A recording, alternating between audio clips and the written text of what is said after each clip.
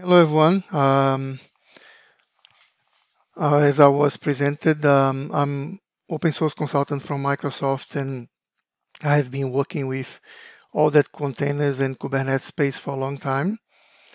And um, this presentation today, you know, if you want to follow what I'm doing, just follow my Twitter. Probably that's the easy ways to follow what I'm doing. And I want to keep in touch with, you know, all the Go developers as uh, Go is the main language for, for the Kubernetes ecosystem.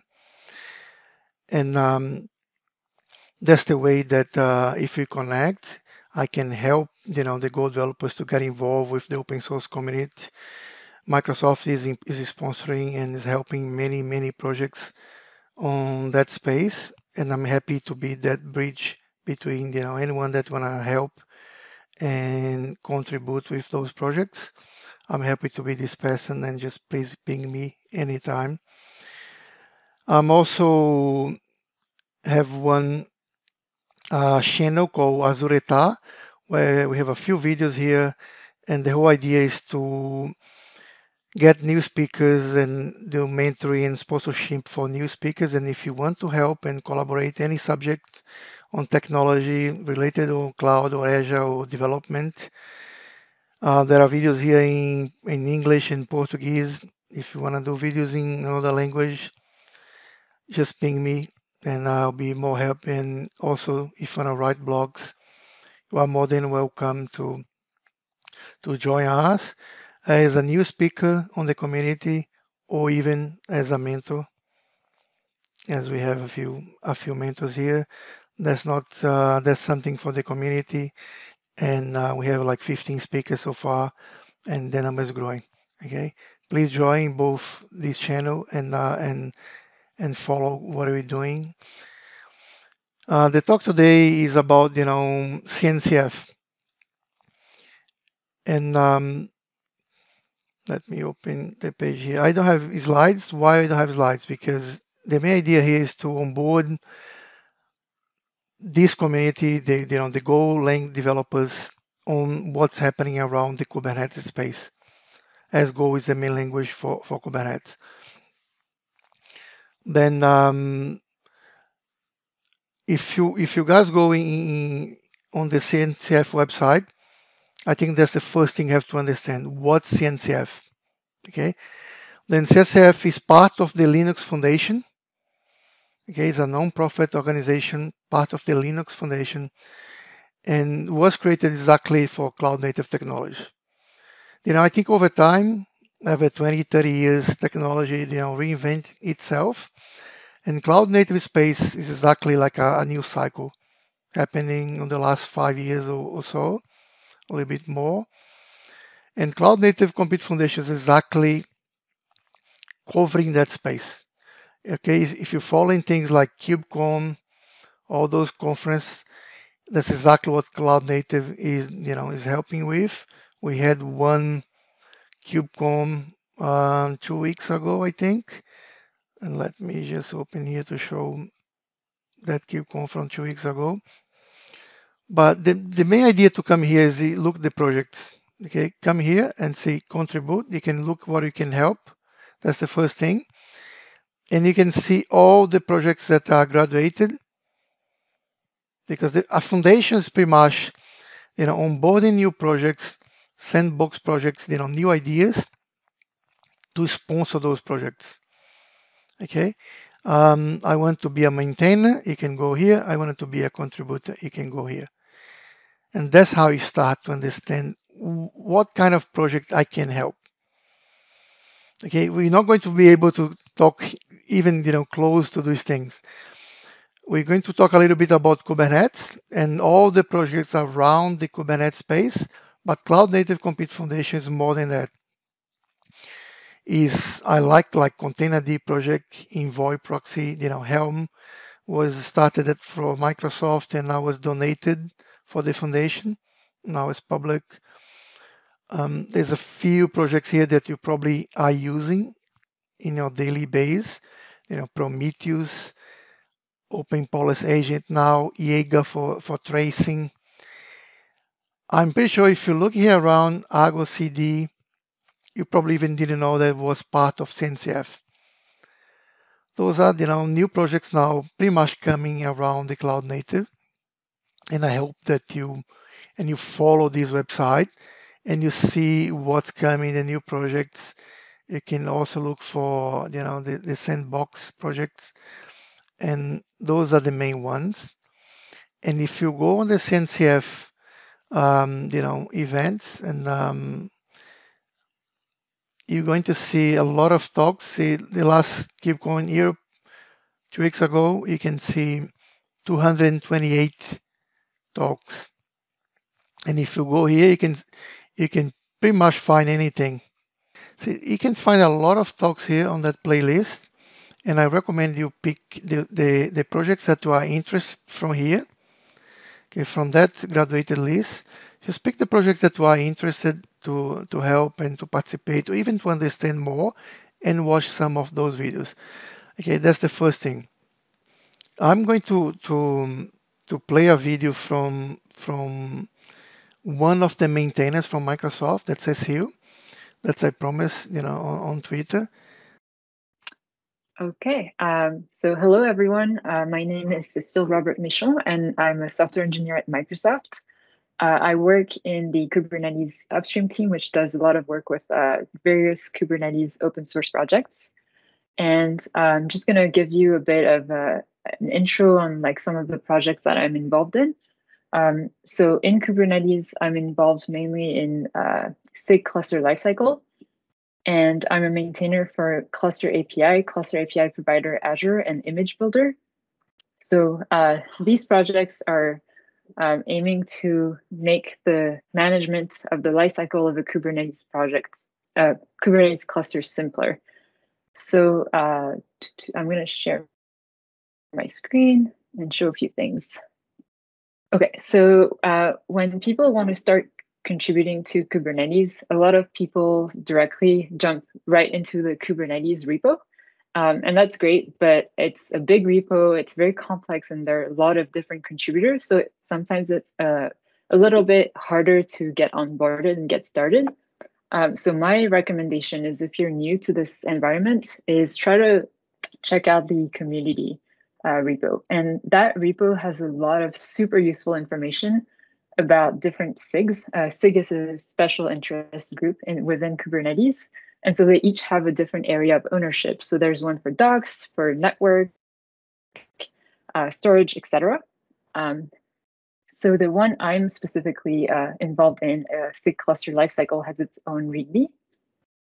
And if you look into this README, um, there's a lot of useful information about uh, the overall like SIG governance and leadership, um, and then meetings. And what's really interesting is if you dig into the sub projects. Um, so SIG cluster lifecycle has a lot of sub projects. This isn't typical of all SIGs, but uh, if you look at uh, a sub project that you're interested in, you can find some good resources here. Like for example, Cluster API.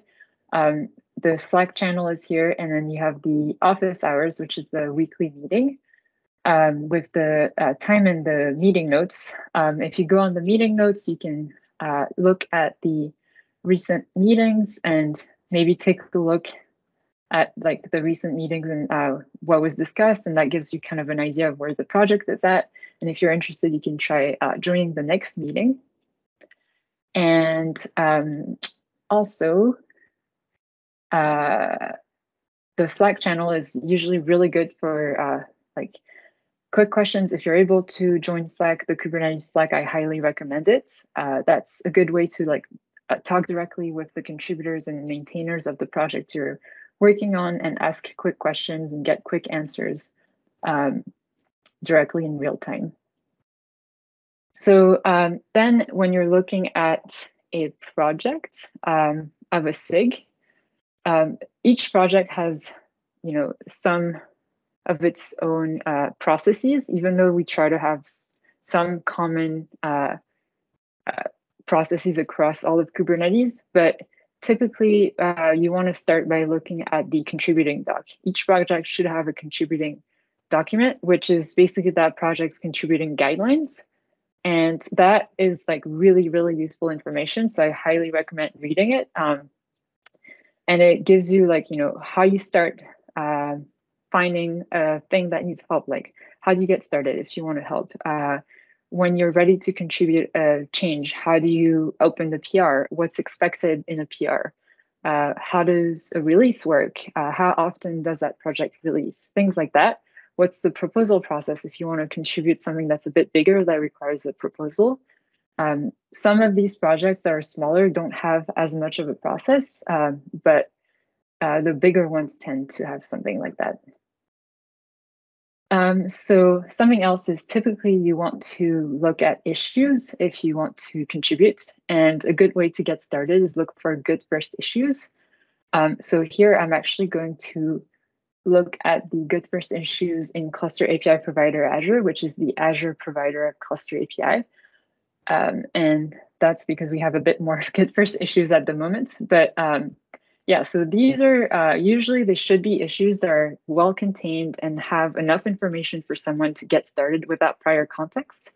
Uh, it doesn't necessarily mean that they're easy. Some of them will be easy, as in it's one line change. Some of them will be a bit more involved. Uh, but usually, if you pick up a good first issue, the understanding is that the maintainers or reviewers will help you um, and provide any guidance as you need it.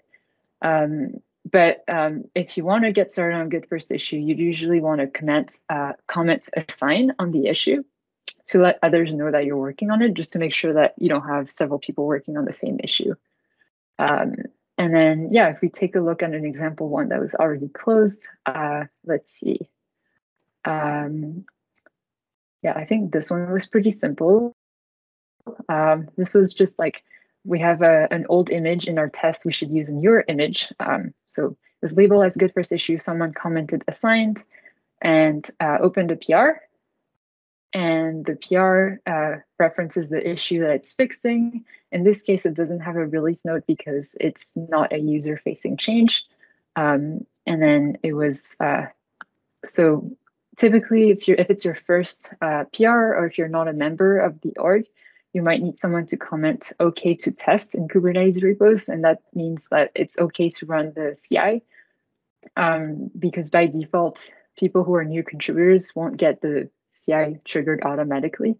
Um, and once that's done, the CI runs, and then you get a review. And once it's approved, it gets merged. That's the ideal path. Um, so yeah, uh, uh, what else? Um,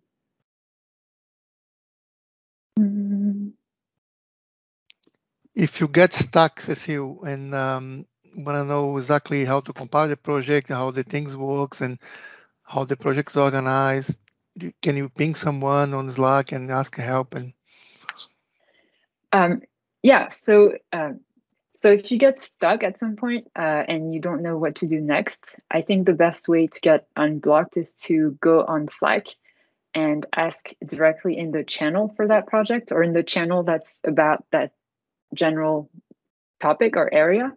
Um, I don't recommend pinging people directly just because that's, um, you know, people are in different time zones. There's like a lot of time zone and you might not get the fastest help. Whereas if you ask in the channel, anyone who's around can help you. Um, so that's the fastest way to get help generally. Um, you can always comment on the PR as well and say, you know, I need help and tag, you know, reviewers. Um, and that's also a good way to get help. Uh, the other thing I will add is as you're uh, onboarding and going through the new developer process of a project, uh, there's usually some docs, like for example, let me, uh, there's usually some docs for developers. Uh, so this is the Cluster API book, which is where all the documentation is held. And if you look in the developer guide, there's a bunch of information about testing, uh, like running unit tests, running end-to-end tests, and um, how to do uh, development with tilt, things like that. As you're going through this, if you notice anything that's outdated or that blocks uh, that you get blocked on that could have been clearer or is missing some information, uh, please open a PR and fix it, or at least open an issue and say, you know, this link is broken or like this wasn't working.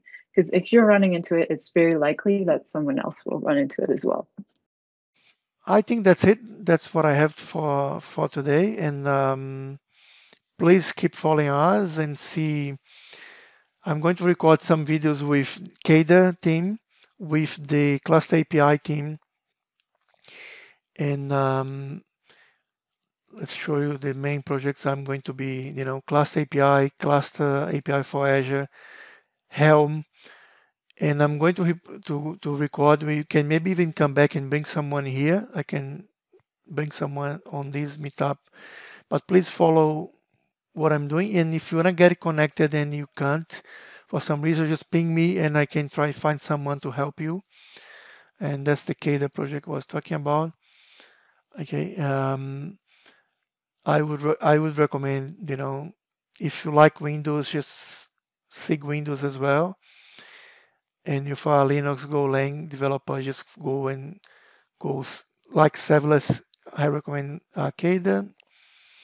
And if you like Kubernetes, go and follow these now these Kubernetes projects, Helm and Cluster API, okay, and Containerd maybe. Okay, the, the Kubernetes project itself is too big. You know, be hard to start helping directly on the Kubernetes project. It's possible uh, on the main project, I mean, but try to follow on those, you know, um, sub projects and try to see how image build is another one related with Cluster API. But that's that's pretty much how I recommend you to get started.